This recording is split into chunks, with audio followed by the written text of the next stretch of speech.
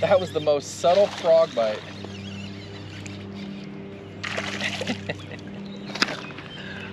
All right, we're on the board. That was the most subtle frog bite. Ate that gavacho.